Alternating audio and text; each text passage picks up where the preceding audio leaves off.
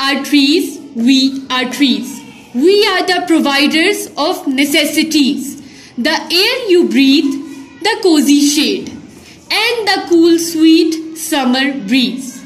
We are the providers of necessities. The fruits you eat, the juices you squeeze, the colorful bunches of sorts of berries.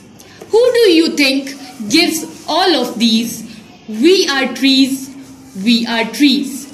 We are the providers of necessities. Loved by the bird, butterflies, home to the birds. We are the hanging spot for the monkeys, food for the cows and the giraffes, source of nourishment for the bees. We serve you all, we do the work.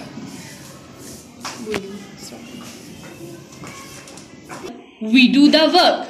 We help in survival of species. But we are sorrow and we are sad. Oh, how much we are full of grief.